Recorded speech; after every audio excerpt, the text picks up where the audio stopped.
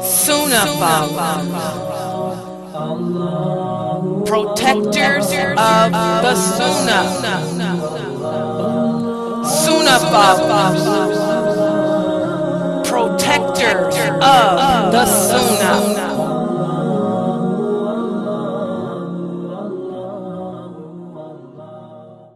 Uh, study the subject and also went through quite a few benefits of uh, resulting in studying Sira. Okay, so what we're going to do today, we'll go through the quiz, uh, give you a chance to answer the questions. After the quiz, um, we'll have a class uh, with the next uh, set of topics for about 30, uh, maximum 40 minutes, something like that. Um, so we'll go straight to the quiz. All right, so the first question here What is the meaning of the Arabic word sira? You can type the answers on the screen, or you can use the mic. If you want to use the mic, just let me know and I'll enable your microphone. I want to use the mic.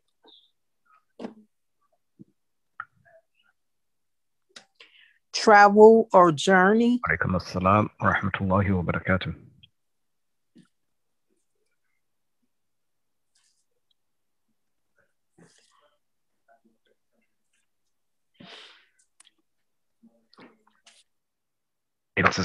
Okay, so um, uh, Sira means um, the life of uh, or someone's biography. Um, Tariq has put here the Arabic word Sira means the biography of a person's life journey. Sister Layli means Sira means to travel, to write about someone's life, uh, some person's life journey. Uh, the Sira is the biography of a person's life. Sister Malyun, Sira means to travel, the life and biography of the Prophet. Uh, the biography of a person means to travel, travel through a person's life journey. MashaAllah. Very good. Lots of good answers there. And it means the biography of a person. Okay. So, um, all very good answers. Uh, just about covers everything.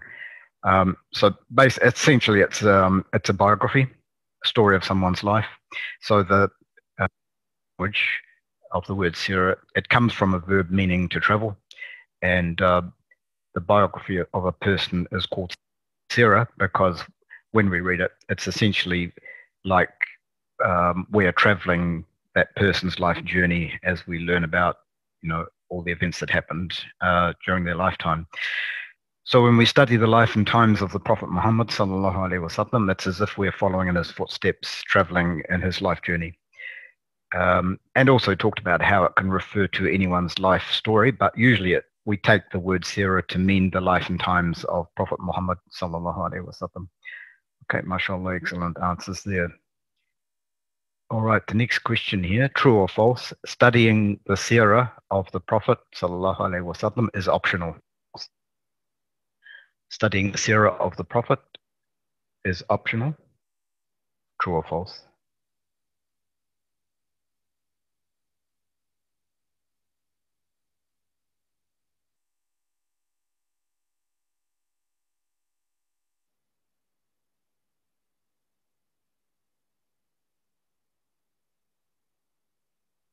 Okay, mashallah, we've got good answers there, correct answers. And um, also got more detailed answers here. Sister Layli says it's false, it's not optional, it's an obligation upon every Muslim to study the uh, Tariq's put false, it's an obligation. Many verses of Quran mention our, our Prophet is the best example for us to follow. Indeed, in the Messenger of Allah, you have a good example to follow for he who hopes for the meeting with Allah on the last day and remembers Allah often. And uh, Sister Malun put, uh, Allah says, I advise you uh, with one thing only, that you stand up for Allah's sake in peers or alone and you reflect on the life history of the Prophet. Yeah, so it's an obligation. Um, and yeah, so ma- mashallah, very good answers. Um, great job. Uh, very detailed there. Um, because um, as as mentioned, Allah subhanahu wa ta'ala tells us um, in in very in uh, you know quite a lot of verses, um, for example, um, wa Rasul and follow Allah and His Messenger, and you know many variations of that verse. Um, so I think mentioned yesterday something like about 50 times in the Quran this same theme is repeated, just using slightly different words and contexts. So Allah subhanahu wa ta'ala tells us in many places in the whole Quran to take the Prophet as an example to follow, and you cannot follow him unless you have knowledge of him. So from the seerah, we can gain religious knowledge and uh, we can gain knowledge about manners and morals and all of that kind of thing. Um, and also we get to know how the father, a husband, all, all of those roles that he fulfilled. And whatever aspect of life we look at, we find an example in him to follow. Rahmatullahi barakatuh. Go on to another question. Name some benefits in studying the biography of the Prophet sallallahu alaihi wasallam. Name some benefits in studying the biography of the Prophet. Okay, so this is a long list we went through yesterday, uh, the day before. See if you can name some of those benefits. Okay, some of the answers here, Sister Sarah, increase your love to the Prophet, help helps us understand the Quran. Uh, it's a source of optimism. Learning the Prophet's companions, develop the Muslim identity. Learning the history of Islam, it helps increase our faith. Sister Layli, there are so many benefits uh, increases increases our knowledge of him and how to love him, the ability to learn about his companions, learn about the history of Islam, and help us understand the Quran and so much more. Of course, we obtain and learn how we should be in our manners, actions, and so on when it comes to everything in life. Also, gain religious knowledge needed in order to understand the Quran. Also, we learn more about the Prophet and grow. It helps us to grow in our love for him considered an act of worship, and one will be rewarded for doing so. Allah rewards us for getting to know the Prophet. These are all answers I'm reading off the screen you're putting here. Increases our love for the Prophet and increases our understanding of our religion. You develop love for the Prophet, get used to, um, you use his life to get through trials in life, helps us understand the Quran more and to develop Muslim identity, source of hope and inspiration, and it helps us to love the Prophet more, develops a Muslim identity, and to be a better Muslim. Okay, mashallah. Good job. Lots of people answering there. So, um, yeah, pretty happy with that. Um, as mentioned, being one of the benefits, increases our love for the Prophet. Just summarizing quickly, increases our love for the Prophet. The Sirah helps us to understand the Quran. It's a source of optimism the Sirah itself is a miracle. Um, it's a precise way for the revival of the Ummah. Yeah, it helps us to be better people. Um, it's a source of knowledge about the companions as well, uh, a source of knowledge about Islamic history. It is a ibadah, as mentioned in the answers and helps us to develop that Muslim identity. Okay, mashallah, very good participation in uh, this quiz. That's great. Uh, the next one, question four, true or false? It's highly recommended that we love Prophet Muhammad sallallahu alaihi wasallam. True or false? That we love Prophet Muhammad sallallahu alaihi wasallam.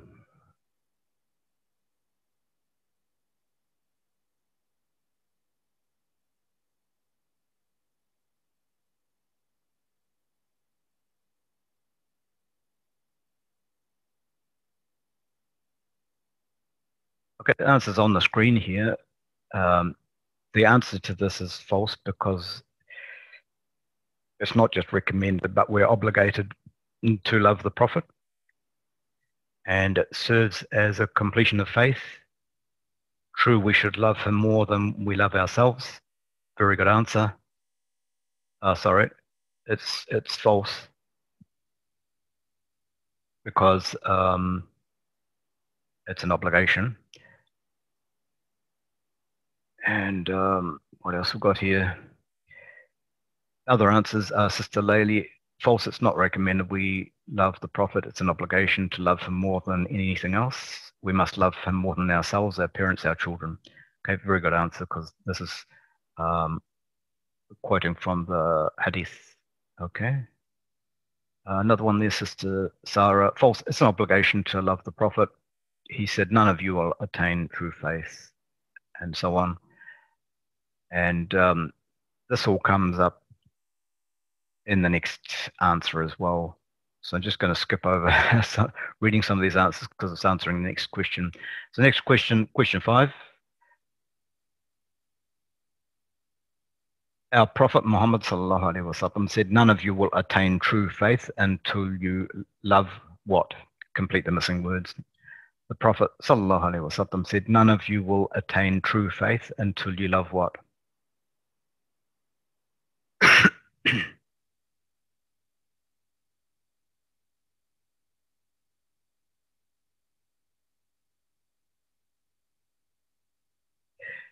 yep, correct answers here. Sister Sarah answers uh, until you love me, Prophet. And uh, Prophet wasallam said, Sister Malun's answer, um, none of you will attain true faith until you love me. That's part of the hadith. See if you can get the rest of the hadith. I think that was in the previous answer. Oh, there it goes. Sister Yasmin has put more than your parents, your children, and all of mankind. Okay, so that's completing the hadith of the Prophet. Tariq put out, Prophet said, None of you will attain true faith until you love me more than your parents, your children, and all of mankind. Okay, so that's correct answer. It's quoting the hadith. And Sister Layli, the same thing. Sister Om Al Hir, uh, same thing. And uh, Sister Om Ibrahim's family, uh, correct answer. Okay, mashallah, good job. So we'll uh, go on to the next one. Why did Amr ibn al-As anhu never look at the Prophet's face, uh, never look at the Prophet face to face? Was it due to fear, shyness, respect, hypocrisy, modesty, love, or hate? Why did Amr ibn al-As anhu never look at the Prophet face to face? Was it due to fear, shyness, respect, hypocrisy, modesty, love, or hate?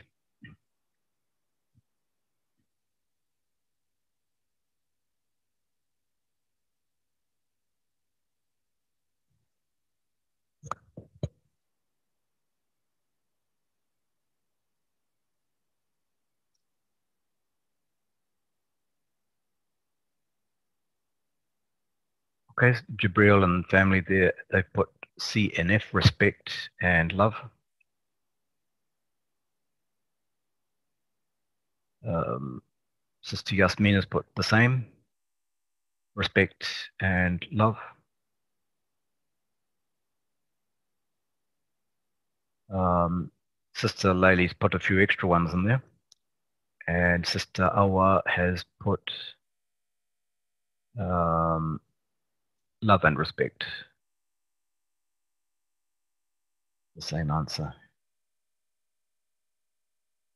Okay, so that, they were the two I was looking for um, out of love and respect because um, if you remember the story we went through last time, um, he loved and respected him so much after he embraced Islam. And remember, he was a disbeliever before who hated the Prophet wasallam so much and wanted to kill him and all of that stuff. So went through that in detail in the story last time. So he went through this huge transformation until he got to that point um, where his worst enemy, he became the most beloved person to him in the whole world. And he had such huge respect and love for him that he couldn't even look at his face. And if you were to ask him, he said, that if you were to ask me what the Prophet looked like, I couldn't tell you. I couldn't describe his face because I never looked at him directly. So that was the huge love and respect he had for him. Yeah, exactly. He respected him so much that he was shy to see his face. Alhamdulillah. So, good answer. Question seven What does Islam erase? What does Islam erase?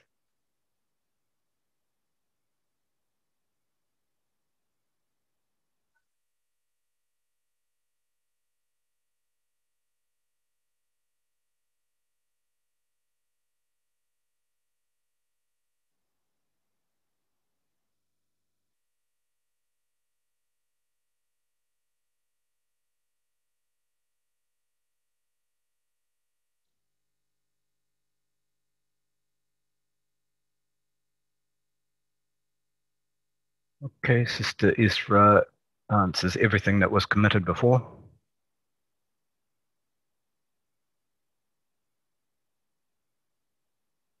Sister Awa, Awa um, answers Islam erases everything you did before in terms of sins. Sister Layli, Islam erases everything before it. Like if a person becomes a Muslim, all of his previous sins will be erased. Uh, Sister Sarah, Islam erases everything before it. Whatever you did wrong in the past would be erased. Sister Sauda, all past sins. And uh, Sister Om Ibrahim's family, it erases everything that came before it regarding sins committed. Sister Yasmin, Islam erases all the sins committed in the past. Okay, similar answers here. And uh, mashallah, they're all all good. Okay, so Islam, Islam erases all of your sins from the past. And uh, Jamila, sister bint Muhammad, everything before in terms of sins in the past. Okay, so if you remember the story, when Amr embraced Islam, um, he went through that little ritual. He held out his hand uh, for the Prophet um, to pledge allegiance with him. And the Prophet held out his hand, but Amr withdrew his hand. And the Prophet asked him why. And he said, um, I've got some conditions. And he said, Prophet said, uh, What's the condition? And he said, um, uh, uh, I want you to forgive me, you know, because of the terrible things he did in the past uh, as an enemy of Islam. Um, and then uh, the Prophet ﷺ said, Don't you know, Amr, that Islam erases everything before it? Okay, so it's, um, that was a very good story by which you know we can easily remember the answer to this question. Okay, all the past sins will be erased upon embracing Islam. Go to the next next one. Um,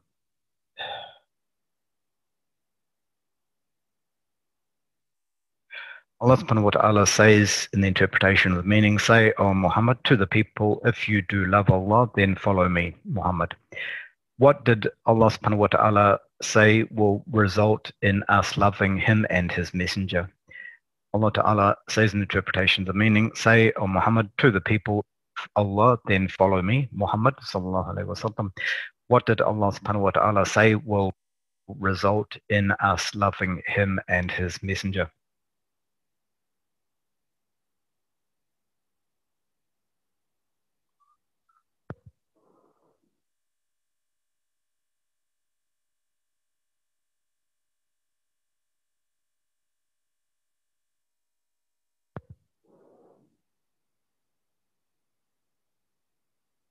Okay, mashallah, excellent answer there from uh, Tariq. Allah Ta'ala says He will love us and forgive us of our sins. Say, if you love Allah, then follow me. Allah will love you and forgive you of your sins, and Allah is most forgiving, most merciful. From Surah Ali Imran, so quoted the verse there.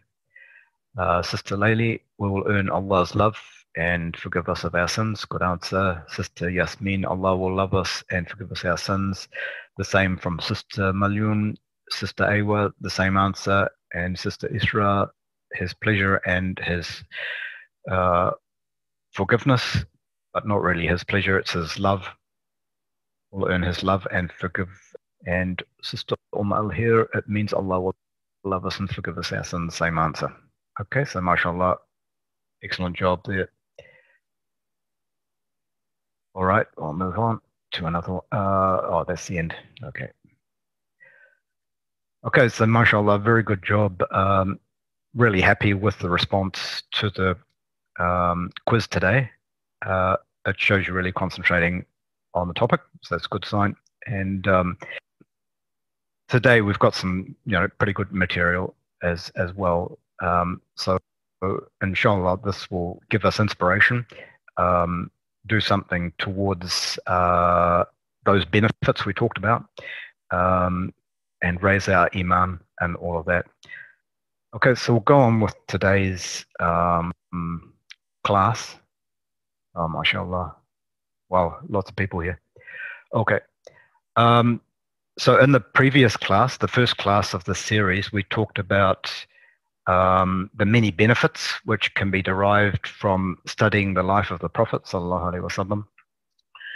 So today we're going to just start off with of these benefits in more detail, and then we'll move on to discuss the background history um, to the life of the Prophet wasallam, um, right from the earliest times when Makkah was first inhabited.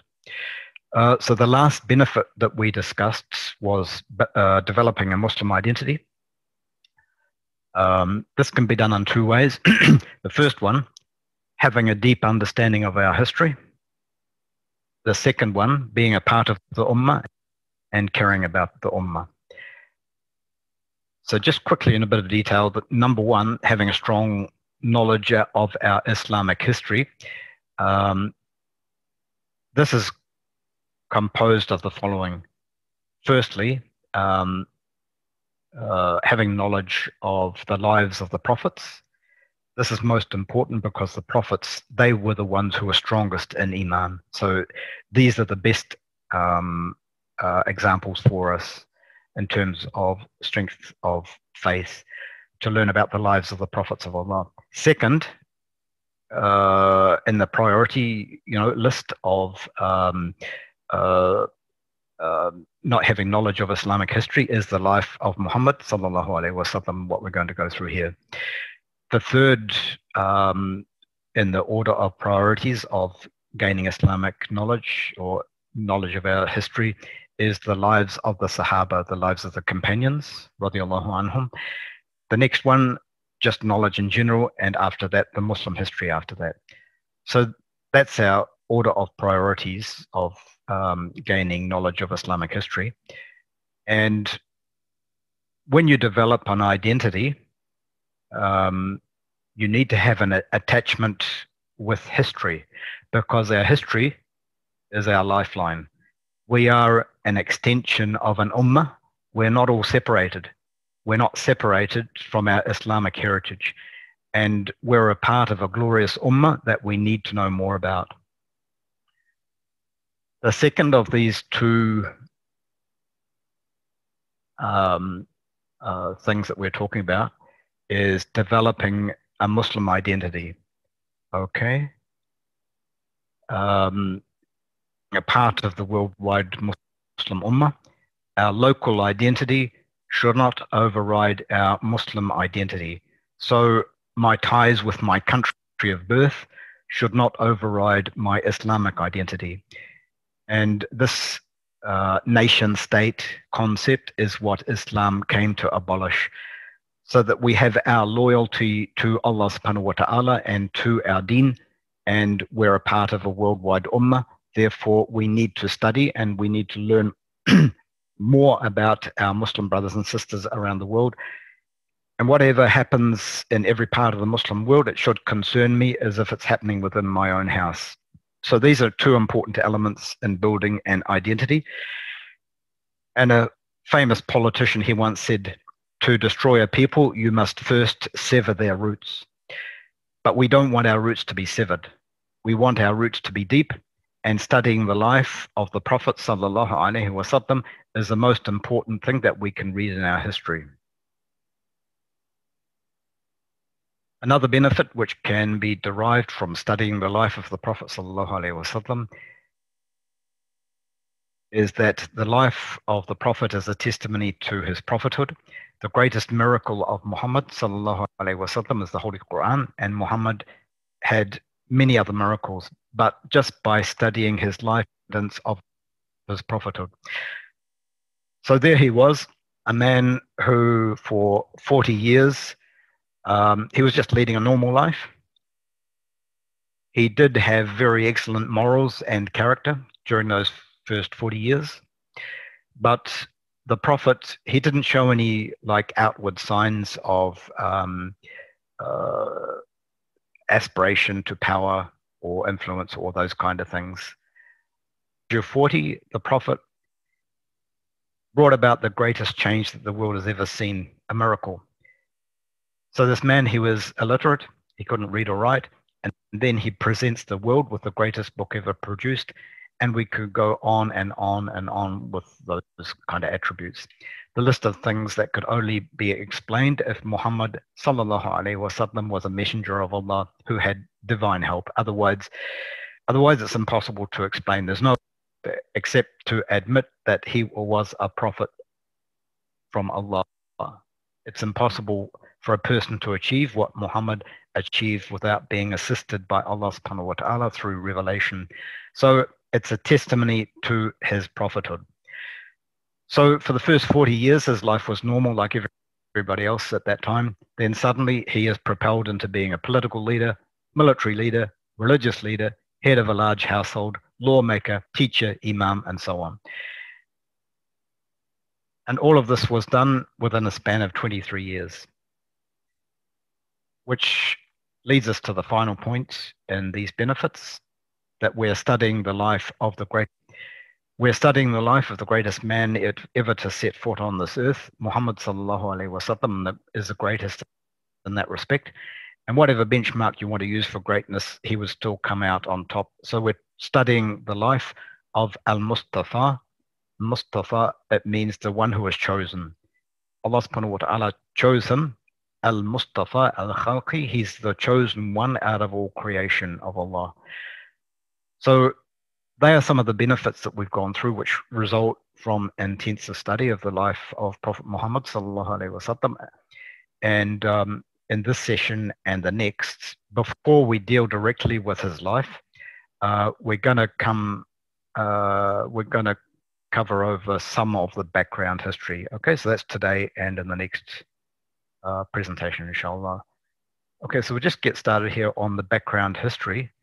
Um, often when scholars um, write about Muhammad sallallahu alaihi wasallam, they don't start with his birth, but rather they would start way before that with, for example, the story of Prophet Ibrahim, alayhi salam, Hajar and Ismail. Ibrahim, alayhi salam, his wife and his newborn son, they traveled to present day Mecca. At that time, it was just a dead valley. And Ibrahim, salam, he left his wife and son Ismail there, along with some water and a bag of dates, and then he walked away.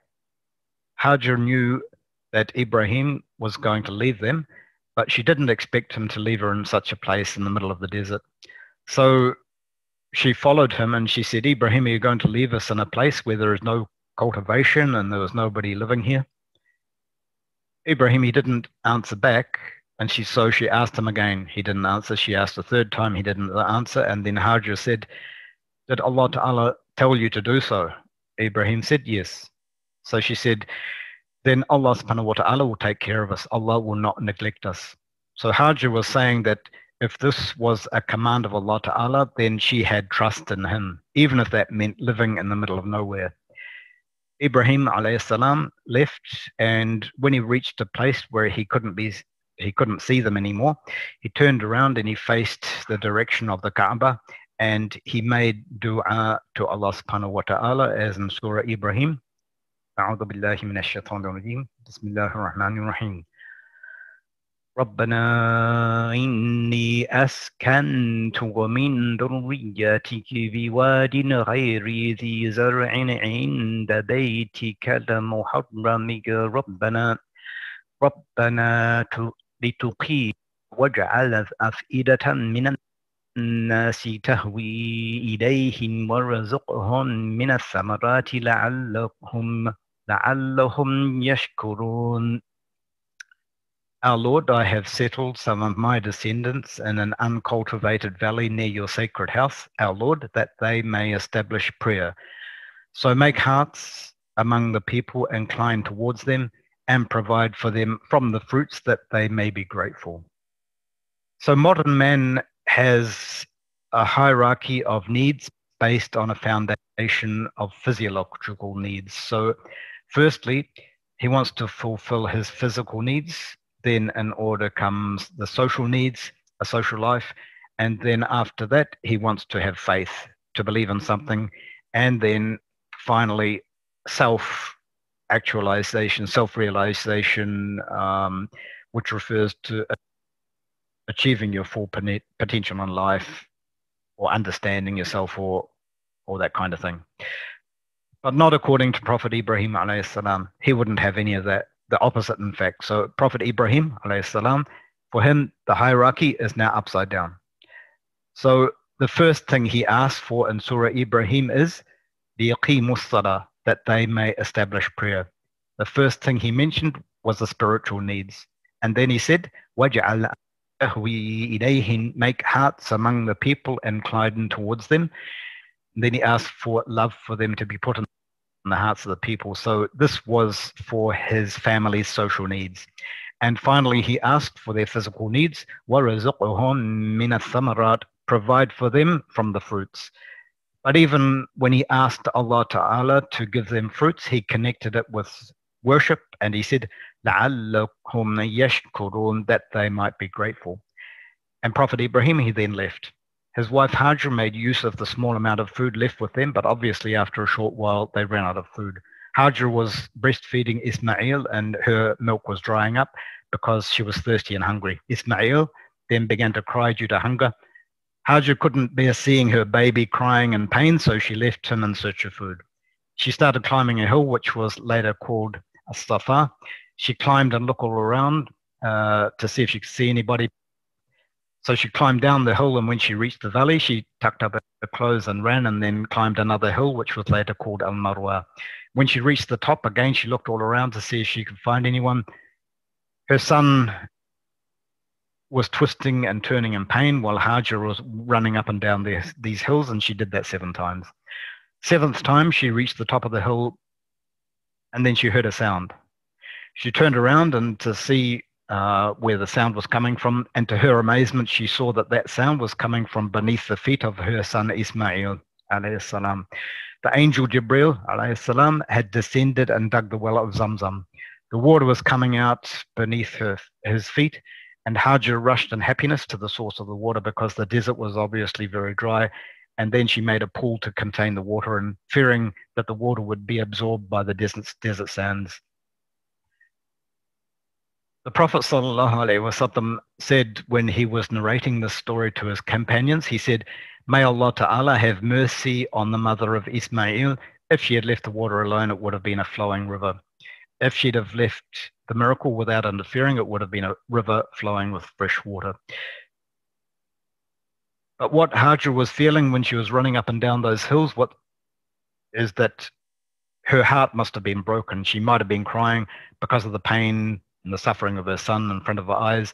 Hajar was a just woman, and Allah subhanahu wa ta'ala was testing her, and He had hidden for her something of the future. So, not knowing what will happen next, next she must have been in real pain. And the Prophet wasallam said, when he was mentioning the story of Hajar going up and down As-Safa and Marwa, and that is why we go between As-Safa and Marwa. So we are following in the footsteps of Hajar until this day.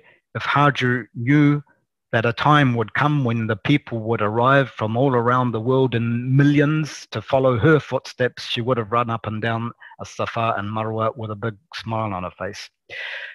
So we need to realize that at times we're put through very difficult, but we don't really know what Allah Ta'ala has in store for us. We get a into difficult situations, when that happens, let us remember that Hajar went through this. And because of her tawakkul, her trust in Allah subhanahu wa ta'ala, she was provided with something much better. since there was now water in the desert, that meant it would surely attract other forms of life. So birds began to hover over the well, and there was this tribe called Jurhum, who were nomads of that particular area. Jurhum was a tribe that had moved out of Yemen, and many different people migrated out of Yemen at different times. Allah subhanahu wa ta'ala tells us one of the stories in the Holy Quran of a kingdom called Saba. The people of Saba were the first to build a dam. And because of that dam, they had year round supplies of water, in spite of the fact that there was very little rain in the Arabian Peninsula. But the dam stored water which could be used year round.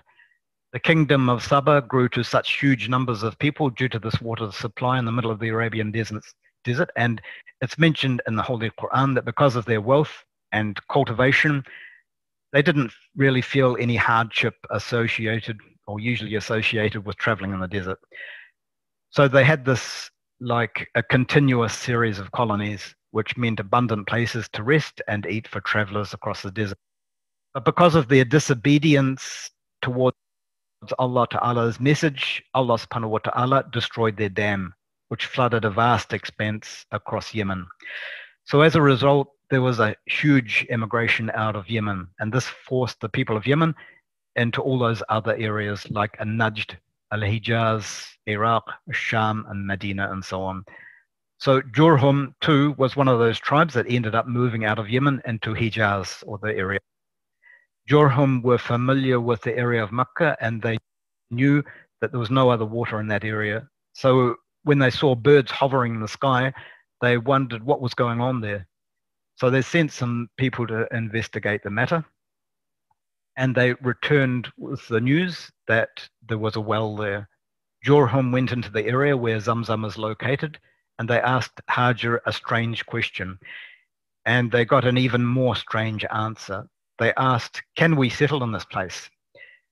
And the reason this question was strange is because we're talking about a tribe of warriors. And they were asking permission from this lonely woman who was with her small child. So they could have just pushed her out of the way, but they asked her politely. And she responded, Well, if you want to stay, I have one condition, and that is that the water belongs to us. So she, being a lonely woman with no protection whatsoever, is negotiating a situation in which she could have been kicked out, but she couldn't have done, and she couldn't have done anything about that. And then they agreed. And the Prophet ﷺ said, when telling the story, deep in her heart, she wanted them to stay. So she wanted to have company, but she just wanted to get a better deal. So they stayed in the place that became uh, became known as Makkah, and Ismail salam grew up with them, and he adopted their language, the Arabic language, because Ibrahim, um, his father, was from Iraq, and they used to speak a different language in Iraq at that time. Then Ismail, he married a woman from that tribe. So this was the beginning of the lineage of Rasulullah sallallahu alaihi wasallam. Now, the tribe of Jurhum, they had political leadership in Mecca. And later on, Prophet Ibrahim, he came back and he built the Kaaba with Ismail. And the religious leadership in Mecca was then with uh, Ismail and it continued alongside with his descendants so Jurhum, they never had any religious authority in or over the Kaaba. Jurhum stayed in Mecca for a very long time until they became corrupt and tyrannical. So Allah subhanahu wa ta'ala sent Khuza'a tribe upon them. Khuza'a kicked them out of Mecca, and Khuza'a was another tribe that left Yemen and entered Hijaz or the Mecca region, kicking out the Jurhum tribe. Before Jurhum left, they did two things. They covered over the well of Zamzam and they erased all of its markings. Secondly, they stole the treasures which were inside the Kaaba. Khuza'a now became the new leaders in Makkah, while the descendants of Ismail, by that time they'd already increased in number, branched out and spread all over the Arabian Peninsula. But there was one branch that remained in Makkah, and that branch was Quraysh.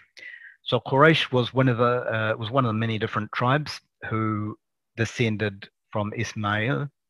Uh, so the Quraysh who was living in Mecca, however, they were ruled by Khuza'a. One of the leaders of Khuza'a, was a man called Amr bin Luhay al-Khuza'i. The head of Quraysh, Qusay bin Kilab, was able to unify the Quraysh and lead a revolt against Khuza'a tribe. He was able to drive them completely out of Mecca, and for the first time, all powers, including political and religious, were under the authority of Qusay. He controlled the guardianship of the Kaaba, and he controlled the distribution of food and water to the pilgrims. It may sound a trivial point, but for them it was considered a great honor to provide food and water to the guests of Allah subhanahu wa ta'ala. And what this responsibility meant was that all other Arabs who came for the pilgrimage would be hosted by the people of Quraysh. He also had control over Nadwa, which was the assembly of Quraysh. It was like their parliament. Qusay also controlled the banner of war. In other words, he was the one who had the power to declare war. So these were the powers that Qusay bin Kilab had as the absolute ruler of Mecca. When Qusay bin Kilab died, these different types of authorities were split amongst his children.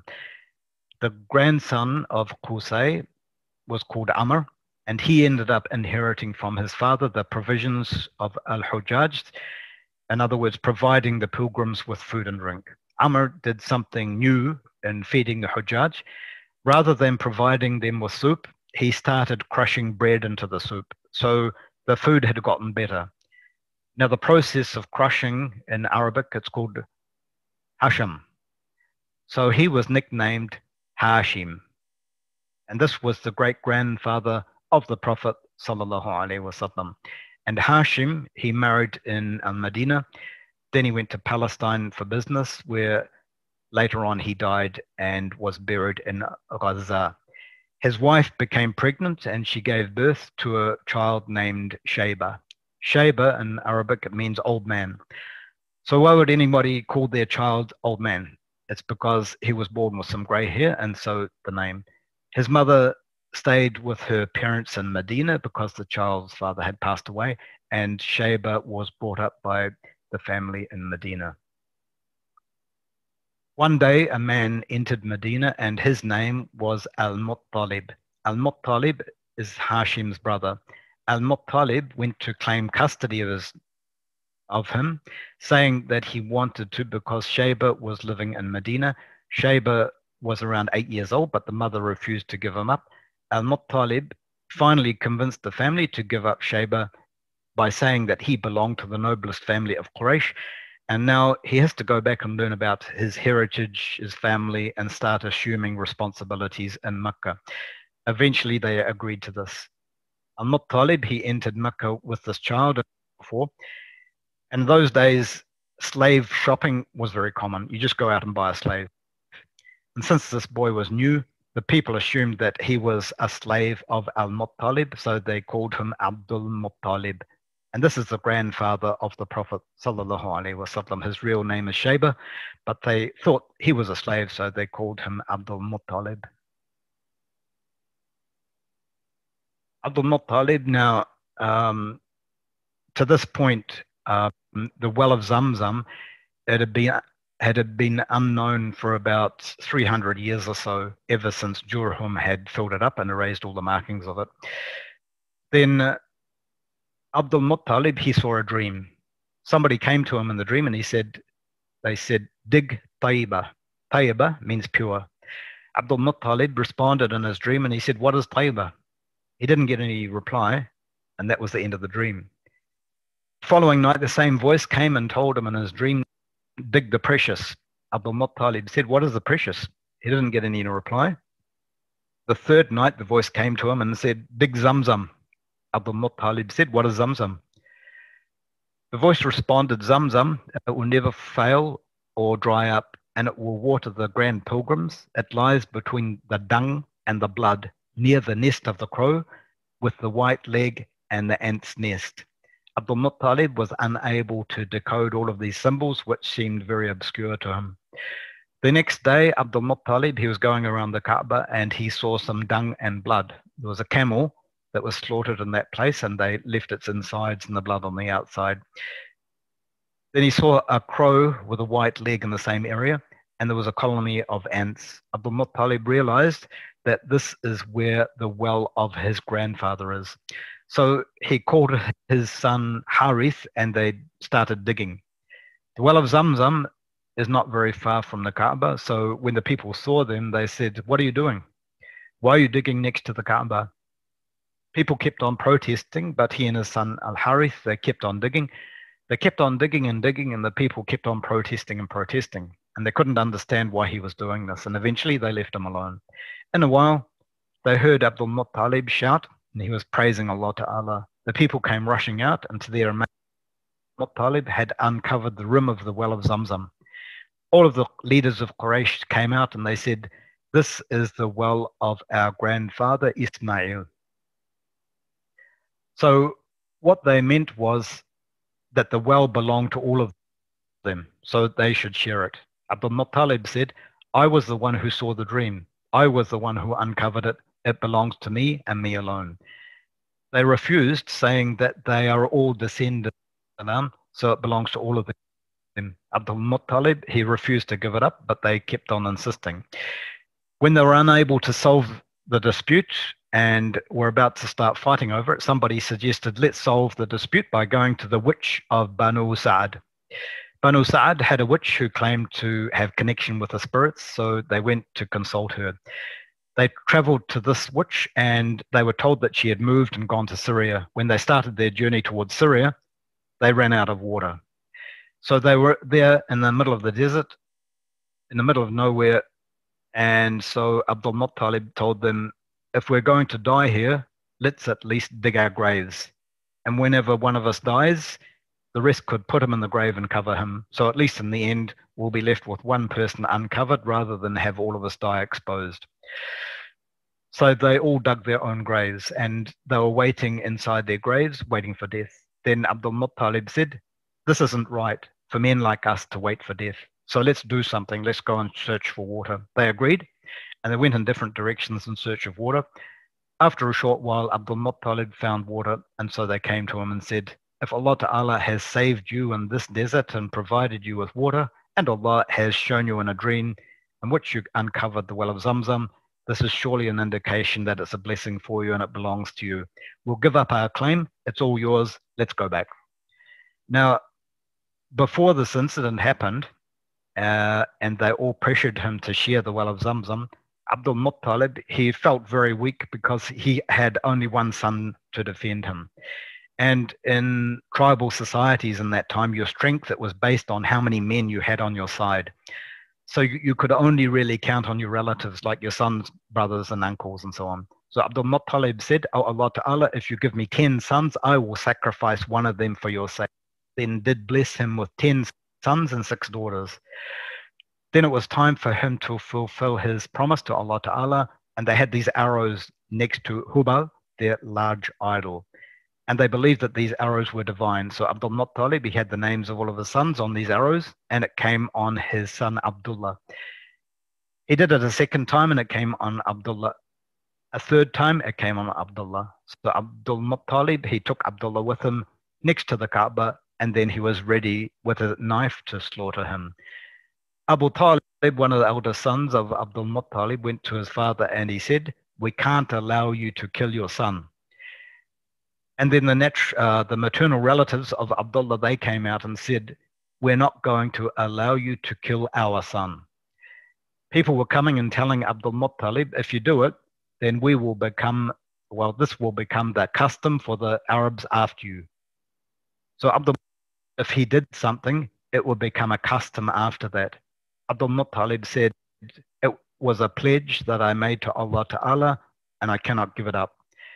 So this ended up in a dispute. So how could they resolve the issue? They decided to go to that witch. So they went to the witch and told her the situation. She said, All right, come back to me tomorrow so that I can consult my spirits. They came back the next day. Then she had an answer for them. She said, What is the retribution that you pay to a person who was killed? They said 10 camels. She said, Then put 10 camels on one side, put Abdullah on the other side, and cast arrows. If it points towards the camels, slaughter the camels. If it points towards Abdullah, then add another 10 camels. So they agreed, they went back, they did exactly what the witch said. The arrow pointed towards Abdullah, they added another 10 camels, it pointed towards Abdullah again, and the number of camels uh, increased all the way up to 100 and towards the camels. People of Quraysh said, finally, we can release your son. Abdul Muttalib said, not yet. We've got to do it one more time. So they did it another time and another two more times, and it was consistently pointing towards the camels. So they slaughtered 100 camels and he had to pay for all of it. And Abdul Muttalib, he was a very generous man. He refused to take any of that meat for himself. He gave it out, he gave it away, and there was took so much, but there was still enough to feed the birds and the beasts. Later on, it became famous among the Arabs that Abdul Muttalib, he was the one who fed the humans and the animals, and he is the one who even fed the birds in the sky. Now, the people of the Quraysh, they were right when they told Abdul Muttalib that if he killed his son, it would become a tradition among the Arabs after him. Because when he sacrificed a hundred camels for his son, the blood changed from 10 camels to 100 camels. And this tradition was kept and reserved by Islam, even though today it isn't given in camels, the blood money is given in actual currency and money. So the blood money still today is 100 camels However, it's calculated in terms of currency. And Abdullah and Amina are the parents of Muhammad sallallahu alaihi wasallam. And later on, they would tell him the story that you are the son of the two sacrificed ones. And who are they? Ismail and Abdullah. Walhamdulillahi Rabbil Alameen. Okay, that's the end of today's session. And um, inshallah, we're going to spend just one more session dealing with this background history, okay, leading up to the birth of the Prophet wasallam. And these are the events um, which uh, go up to the year in which the Prophet was born and the year of the elephant. Um, so one of the stories, one of the very moving stories next time uh, is the people of the ditch, the magician, the monk, and the boy. Okay, very moving story next time, inshallah, which will be in your time zone uh, Monday, Monday next week.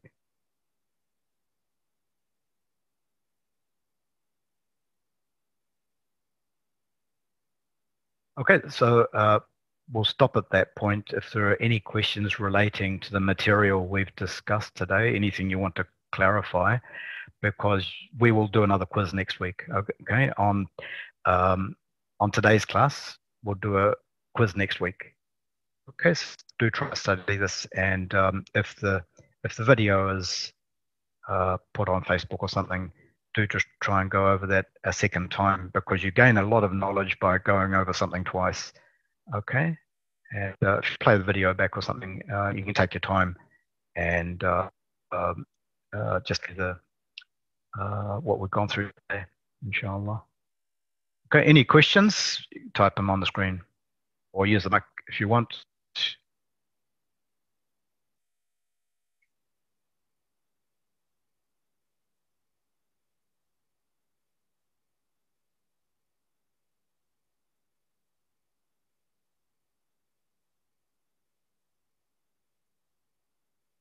Welcome.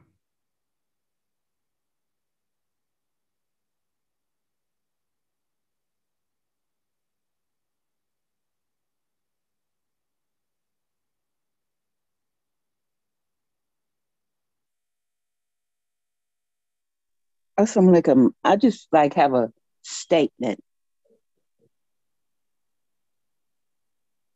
Can I be heard? Yes, go ahead, sister. Uh, Brother Muhammad, that that yeah, sounded similar to uh, that sounded similar to like what Abraham did to his son. How he was going to sacrifice him Yeah, exactly. Exactly. So this is the reason why right at the end, um, I mentioned how um, uh, uh, um, uh, the, uh, the, yeah, the, the parents of the Prophet wasallam, Abdullah and Amina, um, this is why they um, this is why they told him the story uh, that you're the son of the two sacrificed ones, Ismail and Abdullah. So Ismail um, being the son of Ibrahim, and uh, that's a separate story of um, when he was going to sacrifice him, but Allah subhanahu wa ta'ala replaced him, him with a, a ram, and so he slaughtered the ram uh, instead. So that's the story now of the, of the two sacrificed ones. That's why they called him that.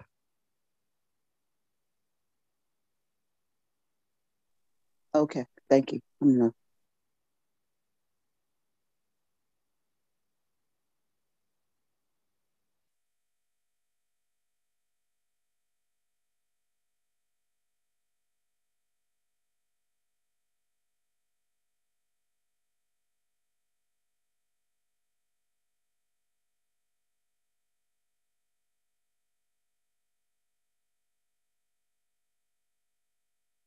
Okay, we've got some more questions here on the screen. Uh, just scroll down along here. Um,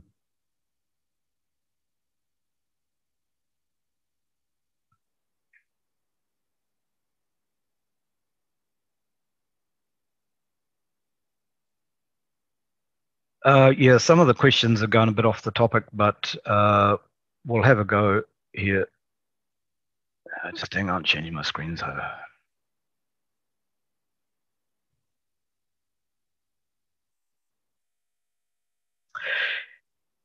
Yeah, so you might have picked up from the class that um, uh, the people at that at that time um, they were involved in all kinds of superstitions and all kinds of um, uh, shirk and all this kind of stuff. Um, so they know they were not practicing like Tawhid at that time. The majority of the people then.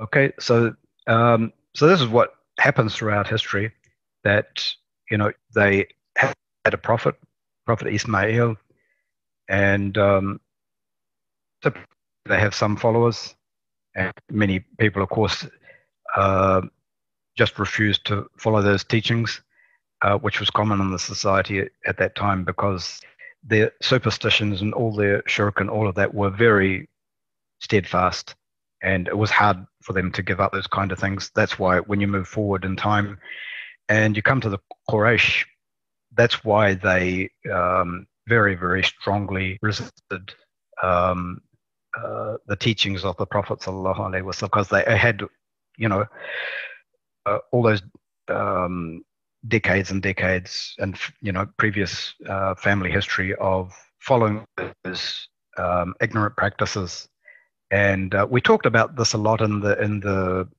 um, in the Tajweed class when we talked about the tafsir and Surah Tawbah, and uh, it talked uh, a large amount, you know, about the characteristics of um, the disbelievers and the hypocrites. So went into that a lot. Okay, so when that has happened throughout history, basically it just calls for the need of another prophet. And this is how we had successive prophets from Ibrahim, Ismail, and so on up to Prophet Muhammad, sallallahu alaihi wasallam, last of the prophets, to bring the people back to the truth. Okay. Another question here. Um, do we have to quote the Quran and Hadith exactly how it's written, or can we paraphrase?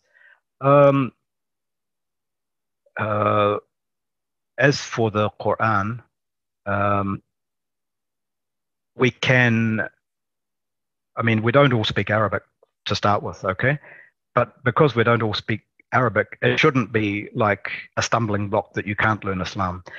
Okay, because if you don't speak Arabic, it doesn't matter. You can still learn in uh, the meaning of the verses in your own language, and that's fine.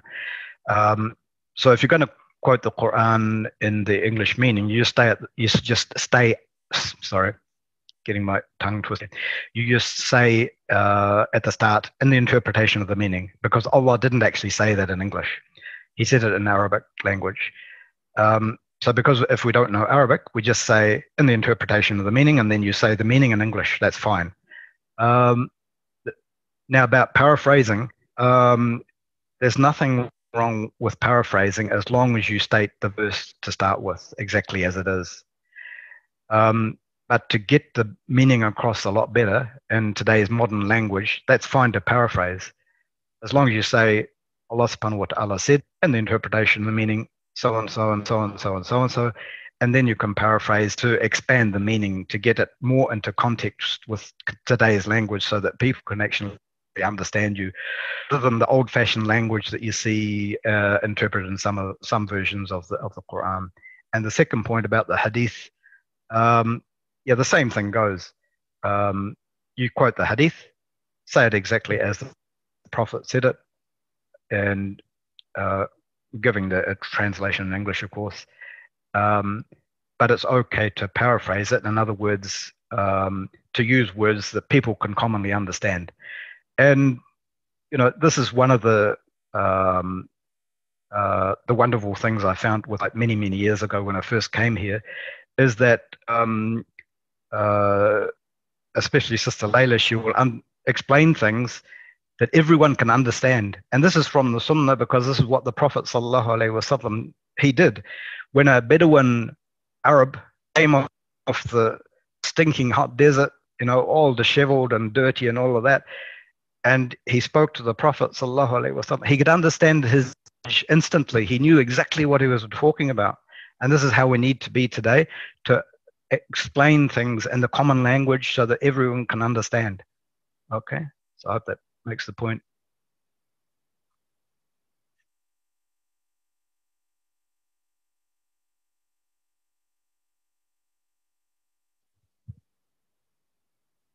Oh yeah, sometimes I just know carry on. But um,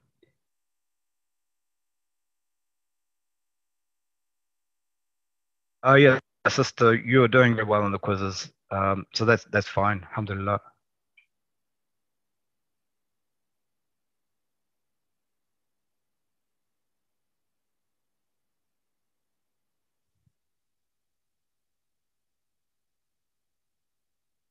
Any more questions?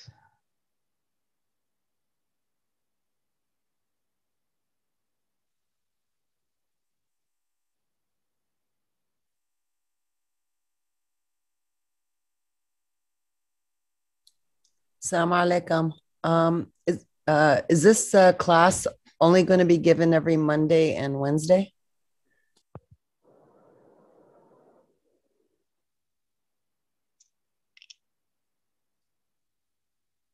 Walaikum assalam wa rahmatullahi wa barakatuh.